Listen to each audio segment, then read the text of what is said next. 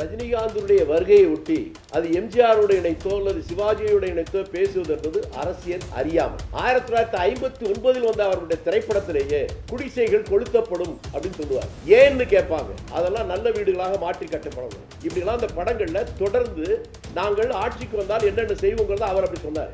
எம்ஜிஆரை போல ரஜினிகாந்த் கந்தருடைய படத்துல ஏதாவது இப்படிப்பட்ட பாட்டையோ அல்லது வசனத்தையோ வச்சிருக்கிறாரா? இல்ல. கல்யாணம் பண்ணாம கதவை தாப்பா போடாம மத்தாம் பத்தாம் பிள்ளை மனசு ரொம்ப வெள்ளைங்கிற மாதிரி அவர் என்ன கட்சி பேரே சொல்லல. அதுக்குள்ளேயே அது பேர் வச்சு குழந்தை பத்து வீடெல்லாம் கட்டி எல்லாம் முடிக்கிற அளவுக்கு போய்கிட்டு இருக்கு. நான் அந்த பேட்டியை பார்க்கிற போது நான் புரிந்து கொண்டது ஒரு நிர்பந்தத்தால் அவர் பேசுவதை போலவே எனக்கு தோன்றுகிறது. தங்களுடைய அரசியல் அரிப்பை ஆபத்தில்லாமல் தீர்த்து கொள்ளுகிற தனி மனிதர்களும் சில கட்சிகளும் இவருடைய உயிரோடு விளையாடிக் கொண்டிருக்கிறார்கள். பாவம் ரஜினிகாந்த் என்கின்ற அப்பாவி மனிதன்.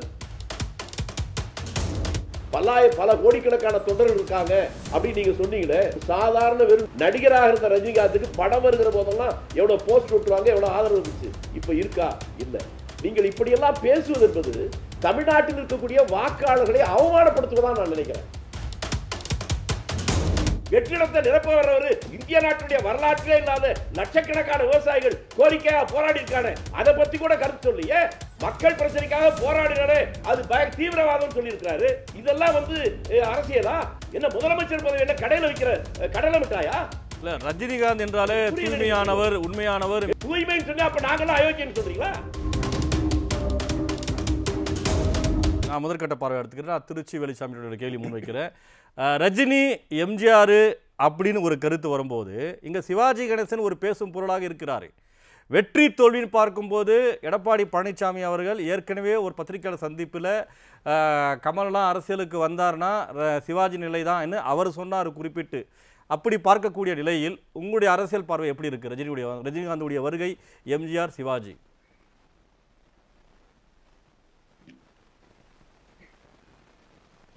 ரஜினிகாந்துடைய வருகையை ஒட்டி அது எம்ஜிஆருடைய இணைத்தோ அல்லது சிவாஜியுடைய இணைத்தோ பேசுவது என்பது அரசியல் அறியாமல் நான் உங்களுக்கு தெளிவாக சொல்லணும்னா எம்ஜிஆர் திமுகவில் இருக்கிற போதே ஆயிரத்தி தொள்ளாயிரத்தி ஐம்பத்தி ஒன்பதில் வந்த அவருடைய திரைப்படத்திலேயே குடிசைகள் கொளுத்தப்படும் அப்படின்னு சொல்லுவார். வசனம் வரும்.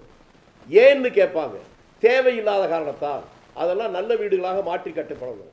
நாளை வரப்போகுது திட்டம் நான் நன்- நன்மை தருகின்ற திட்டம் நான் சட்டம் போடுவேன். நான் ஆணையிட்டால் அது நடந்து விட்டால் ஏழைகள் துயர்பட மாட்டார்கள். இப்படிலாம் அந்த படங்களில் தொடர்ந்து நாங்கள் ஆட்சிக்கு வந்தால் என்னென்ன செய்வோங்கிறத அவர் அப்படி சொன்னார். ஆனால் சிவாஜி கணேசன் அரசியலில் இருந்தாரே ஒழிய தான் ஆட்சிக்கு வர வேண்டும்னு அவர் எங்கேயும் சொல்லலை. தலைவர் காமராஜர் அவர்களை தான் ஆதரித்து இருந்தார். அதற்கு பின்னால் எண்பத்தி ஒன்பது தேர்தலில் கூட எம்ஜிஆருடைய மனைவி வியன் ஜானகை முதல்வராக்குன்னு சொன்னாரே தான் முதல்வராகணும்னு சொல்லலை. ஒன்று அடுத்து இன்றைக்கு இருக்கிற இளைஞர்களுக்கு புரியாத ஒன்று அல்லது அப்போ தெரியாத ஒன்று சீனா யுத்தம் வருகிற போது சிவாஜி கணேசன் தன்னுடைய குடும்பத்தில் இருக்கிற பெண்களுடைய எல்லா நகைகளையும் சேர்த்து நானூறு பவுன் நகைகளை பிரதமர்கிட்ட கொடுத்தாரு. தன்னுடைய சொந்த பணத்தை ஒரு லட்சம் ரூபா பணத்தை கொடுத்தாரு. நான் இப்போ வந்து பார்க்குறேன். நீங்கள் ஒ- ஒப்பீடு சொல்றீங்களே? எம்ஜிஆரை போல ரஜினிகாந்த் கந்தருடைய கடத்தில் படத்தில் ஏதாவது இப்படிப்பட்ட பாட்டையோ அல்லது வசனத்தையோ வச்சிருக்கிறாரா? இல்லை.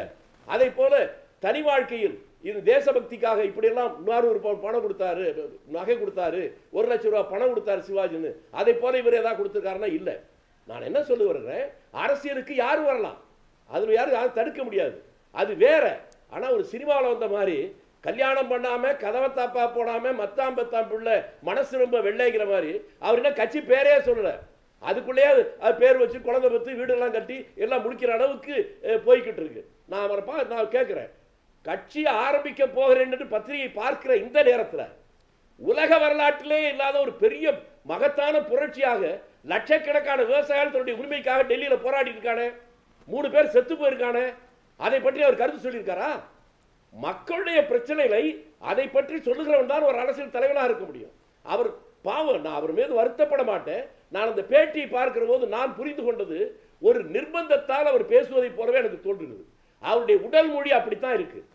அவரே சொல்றார் என்னுடைய உடல் நலம் நல்லா இல்ல ரொம்ப மோசமா இருக்கு அந்த உயிர் உயிரை கூட கொடுக்க தயாரா இருக்கிறேன் என்று சொல்லுகிற போது அவர் மீது எனக்கு அனுதாபம் தான் ஏற்படுகிறது உயிரையே கொடுக்கிறேன்னு சொல்ற அளவுக்கு ஒரு நிர்பந்தம் இருக்கிற ஒரு மாற்றத்தை ஒரு மாற்றத்தை கொண்டு வர வேண்டும்.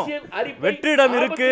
சில பேர் தீர்த்து கொள்ள முயற்சிக்கிறார்களே அவர்கள் மீது தான் கோவம் வருது இல்ல ஒரு மாற்றத்தை கொண்டு வர வேண்டும். வெற்றிடம் இருக்கு. அதிமுக திமுக அரசியலை அகற்ற வேண்டும்? ஆன்மீக அரசியலை கொண்டு வர? வேண்டும்ன்றாரு அந்த. மாற்றத்துக்காக முன்னோக்கி வராது. இதே வரவேற்கத்தக்கதல்ல அது வேற யாரும் நேரப்பட முடியாது. இல்லை நான் இதெல்லாம் இது இது அது இது வந்து ரொம்ப குறைவான ஒரு விமர்சனம் இது. இது தப்பான ஒரு விமர்சனம். அரசியல்ல ஏற்கனவே ஆயிரம் பேர் இருக்காங்க. இப்ப நானே அரசியலுக்கு வந்து ஐம்பது வருடத்துக்கு மேலாச்சு. நான் அதுக்கு தான் கேட்கிறேன் வெற்றிடத்தை நிரப்ப வர்றவர் இந்திய நாட்டுடைய வரலாற்றிலே இல்லாத லட்சக்கணக்கான விவசாயிகள் கோரிக்கையாக போராடி இருக்கானே அதை பத்தி கூட கருத்து சொல்லியே எதை சொல்லியிருக்கிறாரு? மக்கள் பிரச்சனைக்காக போராடினாலே அது பய தீவிரவாதம் சொல்லியிருக்கிறாரு. இதெல்லாம் வந்து அரசியலா? ஒரு நாட்டை சுதந்திரம் கிடைக்காது பெருசு இல்ல. ஒரு ஆங்கில அறிஞர் சொன்னா பெற்ற சுதந்திரத்தை பேணி காப்பது என்பது வாட்ச் டாகை போல ஒரு காவல் நாயை போல மக்கள் அதை கவனிக்கணும்னு சொன்னாங்க. இதெல்லாம் பார்க்கணும். ஏதோ என்ன வேடிக்கையா ஓட்டு போடுவது என்பது? ரஜினிகாந்த் செய்கிறவன். திருச்சி அவனுடைய வெளிச்சாமி தகுதி அவனுக்கு இருக்கிற அனுபவம் அவனுடைய தியாக உணர்வு இதெல்லாம் பார்த்துதான் வாக்களிக்க வேண்டும்? என்ன முதலமைச்சர் பதவி என்ன கடையில வைக்கிற கடலை மிட்டாயா? இல்ல ரஜினிகாந்த் என்றாலே தூய்மையானவர் உண்மையானவர் மென்மையானவர் எளிமையானவர். இவர் அரசியலுக்கு வந்தா மக்களுடைய எதிர்பார்ப்பு இருக்கு நல்லாட்சி கொடுப்பாரு. இவருக்கு எந்த சுயநலம் இருக்குல்ல? மீடியாவுல எப்படியோ சொல்லிட்டு போங்க. நான் தான் கேட்கிறேன். லட்சக்கணக்கான பேர் அங்க செத்துக்கிட்டு இருக்காங்க. அதை பத்தி கருத்து சொல்லாதவர். அவர் என்ன தூய்மை? ஏன் ஹைதராபாத் ஏர்போர்ட்ல அவர் எதுக்காக கைது பண்ணப்பட்டாங்க தெரியுமா உங்களுக்கு?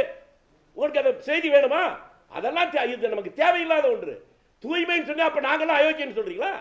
இல்ல எளிமையா வாழக்கூடியவர் அப்படின்னு ஒரு பேசும் பொருளா பேசப்படுது சொல்லப்படுது. அதற்காக இல்லாம- அரசியலுக்கு வர வேண்டும் என்று அரசியல் மூத்த தலைவர்கள்லாம் வந்து வரவேற்கிறாங்க. நீங்க என்ன சொல்லுங்க அதை சொல்லுங்க. இதெல்லாம் இதாவது உங்களுடைய பலவீனத்தை மறைத்துக் கொண்டு ஊர் சொல்லுதுன்னு சொல்றீங்க. அவர் தூய்மையானவரா சொல்லுங்க. அப்ப எங்களுக்கு தூய்மை இருக்கா இல்லையா அதை சொல்லுங்க. நீங்க அதெல்லாம் சொல்ல மாட்டீங்களே.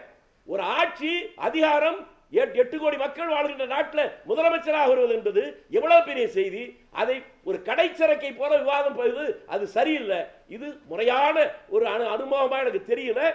இவர் வருவது மக்களுக்கு நல்லதா ரெண்டாவது கூட? அவரே சொல்றார் உடம்பு சரியில்லை.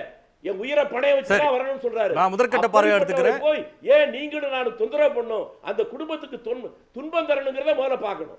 இரண்டாயிரத்தி இருபத்தொன்று சட்டமன்ற தேர்தலில் முதல்வர் வேட்பாளர் நிறைய பட்டியலே இருக்குது எல்லாரும் நிற்க போகிறாங்க இவங்க எதனடிப்படையில் எதிர்கொள்ள போகிறாங்கன்ற ஒரு கருத்து இருந்தாலும் ரஜினிகாந்த்னாவே ஒரு பெருமளவு பேசும் பொருளாக இருக்கின்றது. பல கோடி தொண்டர்கள் பல லட்சம் தொண்டர்கள் அவர்கிட்ட இருக்கிறாங்க. ரசிகர்கள் மன்றங்கள் அமைச்சிருக்கிறாங்க. நேராக தேர்தலுக்கு வருவார் வெற்றி பெறுவார் ஜெயிப்பார் முதல்வர் ஆவார் என்ற கருத்து முன்னோக்கி சொல்லுது. அது மட்டும் இல்லாமல் அரசியலில் சில மாற்றங்கள் கொண்டு வராரு. இப்படிலாம் பேசும் பொருளாக இருக்குது வரவேற்கத்தக்கதாக இருக்குது எப்படி பார்க்குறீங்க? உங்களுடைய இந்த கருத்தையே முற்றிலும் நான் நிராகரிக்கிறேன். பல கோடி மக்கள் அவருக்கு ஆதரவான இருக்கான்னு சொல்கிறதே மறுக்கிறேன். நான் உங்களுக்கு ஒரு ஒரு ரகசியத்தை சொல்லலை. விஜயகாந்த் நான் அரசியலுக்கு வருகிறேன்னு கட்சி ஆரம்பிக்கிற போது தமிழ்நாட்டில் கிட்டத்தட்ட எல்லா ஊர்கள்லையும் அதற்கான எதிர்விளைவுகள் வந்துச்சு. அதை ஆதரித்து வெடிவெடிச்சது சத்தம் போட்டதெல்லாம் வந்துச்சு. அவரே பத்து சதவீதத்தை கூட வாக்களி வாக்குகளை பெற முடியல. இப்போ நான் உங்களை வேணா நீங்கள் ஊடகத்தில் இருக்கீங்க நீங்கள் ரகசியமே இல்லை. ஒரு நீங்கள் கருத்தை தெரிஞ்சுக்கலாம்.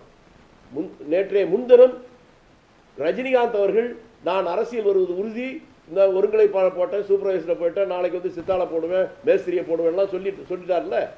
அதற்கு தமிழ்நாட்டில் எத்தனை இடங்களில் வரவேற்பு வந்துச்சு?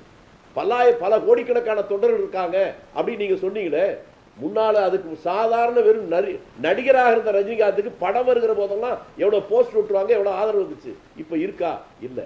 நீங்கள் இப்படியெல்லாம் பேசுவது என்பது தமிழ்நாட்டில் இருக்கக்கூடிய வாக்காளர்களை அவமானப்படுத்துவதான் நான் நினைக்கிறேன்.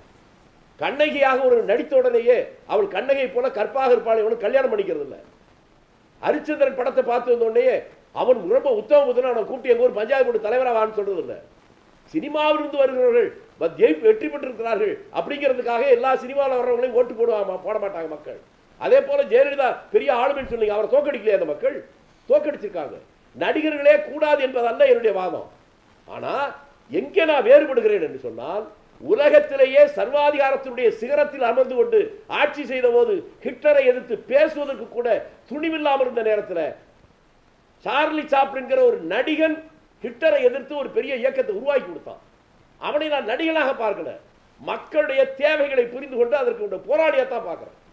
அதே போலவே பாருங்க தமிழ்நாட்டுல அடிமை இந்தியாவில் இதே தமிழ்நாட்டுல விஸ்வநாதாசன் ஒரு நாடக நடிகன் தான் அவனே பாட்டு எழுதினான் அவனே வசனம் எழுதினான் அவனே நடிச்சான் அவனே இயக்குனான் பல முறை சிறைக்கு போனான். அவன் எழுதுன பாடின பாட்டு தான் கொக்கு பறக்குது வெள்ளை கொக்கு பறக்குது கொக்கு வெள்ளை கொக்கு நம்மை கொல்ல வந்த கொக்குன்னு.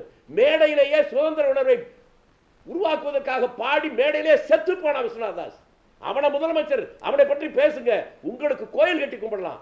ஆனா சினிமாவில் போய் ஒரு சிகரெட்டை தூக்கி பிடிச்சு பிடிக்கிறதே மக்கள் ஏற்றுக்கொண்டார்கள் என்று சொன்னால் தமிழகத்திற்கு தமிழகத்திற்கு இதை விட ஒரு அவமானமே இருக்க முடியாது இல்ல அவர் திருச்சி என்ன சாமி கொள்கை ஒருத்தர்? கட்சி ஆரம்பிக்கும் போது இல்ல. ஒருத்தர் கட்சி ஆரம்பிச்சு தேர்தலை? எதிர்கொள்ள வேண்டும் அதன் பிறகு மக்கள் செல்வாக்கு என்ன. இருக்குன்னு பார்க்க வேண்டும். அதன் பிறகு விமர்சனங்கள் முன்வைக்க வேண்டும். நீங்க ஆரம்பத்திலேயே அவர் இப்படிப்பட்டவர் அப்படிப்பட்டவர் கருத்து திணிப்பது எப்படி வச்சுக்குவோம். இப்ப முன்னாலேயே வைக்கிறீங்க சார் தயவு செஞ்சு நீங்க ஒண்ணு கேளுங்க. அவர் ஆரம்பிச்சதை பாக்குறதுக்குல்ல ஆரம்பிக்கிறதுக்கு முன்னாலே பல கோடி மக்கள் ஆதரிக்கிறாங்க. நீங்க எப்படி சொல்றீங்க? ரசிகர்கள் இருக்கிறாங்க. அந்த. ரசிகர்கள் வாக்கா மாறுன்றாங்க. எத்தனை பேர் ஆதரிக்கிறாங்கன்னு? தப்புங்க இது. இந்த நாட்டுல இருக்கக்கூடிய பிரச்சனைகள் எவ்வளவு இருக்கு? மழை வெள்ளத்துல செத்துக்கிட்டு இருக்கான். விவசாயி ஆயிரக்கணக்கான ஏக்கர் நிலத்துல போட்ட முதலீடு படிச்சுட்டு தற்கொலை பண்ணிக்கிட்டு இருக்கான். நாடு முழுவதுக்கு சோதனை இருக்கிற போது ஒரு சினிமா நடிகர் நாளைக்கு வந்த உடனே ஆட்சியை பிடிக்க போறார் என்று சொல்வது என்பது இந்த தமிழக வாக்காளர்களை அவமானப்படுத்துகிறீர்கள் அவரை சிறுமைப்படுத்துகிறீர்கள் தமிழின வரலாற்றை கொச்சைப்படுத்துகிறீர்கள் நான் சொல்லுவேன். ரஜினிகாந்துடைய வருகை தன்னிச்சையான பாக்குறீங்களா இல்ல அது பின்புலத்துல அரசியல் இருக்குன்னு பாக்குறீங்களா எப்படி பாக்குறீங்க ஏன் அவனு அந்த அளவுக்கு நீங்க ஆவேசம் அடைறீங்க? நிர்பந்தம். நான் நான் துவக்கத்திலே சொல்லிட்டேன். நீங்க திரும்பி அந்த வீடியோ போட்டு பாருங்க. அவருடைய உடல் மொழி அவர் முகத்தில் இருக்கக்கூடிய தயக்கம் அவர் சொல்லுகிற போது அவரை அறியாமலே சொன்னது உடல் நலம் குன்றி இருக்கிறது மோசமா இருக்கு என்று வந்திருக்கிற செய்திகளை நான் மறுக்கவில்லைன்னு சொல்லிட்டாரு. அதற்கு அப்புறமா என்ன சொல்றாரு? உயிரே போனாலும் பரவாயில்ல நான் வர்றேங்கிறாரு. அது என்னன்னா தன் மீது பாசம் வைத்திருக்கிறவர்கிட்ட இவ்வளவு மோசமான நிலைமை இருக்கிறேன்னு இதை விட நாசுக்கா சொல்ல முடியாது. அதுக்கு தான் நான் முதல் சுற்றிலே சொன்னேன். தங்களுடைய அரசியல் அரிப்பை ஆபத்தில்லாமல் தீர்த்து கொள்ளுகிற தனி மனிதர்களும் சில கட்சிகளும் இவருடைய உயிரோடு விளையாடி கொண்டிருக்கிறார்கள். பாவம் ரஜினிகாந்த் என்கின்ற அப்பாவி மனிதன். அவருக்காக நான் அனுதாபப்படுகிறேன். அந்த மனிதனை. அந்த குடும்பத்தை நிம்மதியா இருக்க விடுங்க. அவரை ஏன் தொந்தரவு பண்ணீங்க? அதான் நான் சொல்லுவேன். ஓகே நான் திருச்சி வெளிச்சாப்பிட்ட நிறைவு கருத்து கேட்க விரும்புகிறேன் ரஜினிகாந்த் வருகை ஒரு பக்கம் இருந்தாலும் அது பல விமர்சனத்துக்கு ஆனாலும் அவரை கட்சி ஆரம்பிக்கிறது உறுதியாகிவிட்டது. எப்படி பார்க்குறீங்க? உங்களுடைய நிறைவு கருத்து பதிவு செய்யலாம். நிச்சயமா இல்ல. நான் துவக்கத்தில் சொன்னதான் அவர் நிர்பந்தத்தால் செய்கிறார். சில பேருடைய அரிப்பை ஆபத்து இல்லாமல் தீர்த்து கொடுத்திருக்கு அவரை கருவியாக பயன்படுத்த முயற்சிக்கிறார்கள். அவர் அரசியலுக்கு வருவது தமிழகத்திற்கும் குழப்பம் அவருடைய குடும்பத்துக்கும் குழப்பம் அவருக்கு சோர்வு வரும். அவர் அரசியலுக்கு வராமல் இருந்தால் தமிழகத்தில் குழப்பம் நீடிக்கும். ஆனால் அவருடைய குடும்பத்திலும் அவருக்கும் நிம்மதி பிறக்கும். அது நான் மற்ற நம்முடைய நண்பர் ஷியாம் சொல்லுவார் நினைச்சா அவர் ஏதாவது சொல்லலை. ரஜினிகாந்த் ஒன்றும் விவரம் தெரியாதவர் அல்ல. ஒரு திரைப்படத்தில் வெற்றி அடைவதற்கு சாதாரண பாமருடைய நாடி நரம்பெல்லாம் பிடிச்சி பார்க்குற அது இருந்தால் தான் முடியும். அந்த அளவுக்கு எல்லாரையும் தெரிஞ்சு வச்சிருக்கிறாரு. நாம சினிமாவில் இருக்கும்போது தான் சூப்பர் ஸ்டார். ஃபீல்டுக்கு வந்தால் நம்ம அவ்வளோதான் காமெடியன் ஆயிடுவோம் என்று அவருக்கு தெரியும். அவர் வரமாட்டார் வரமாட்டார் வரவே மாட்டார். காலம் இதற்கு பதில் சொல்லும்.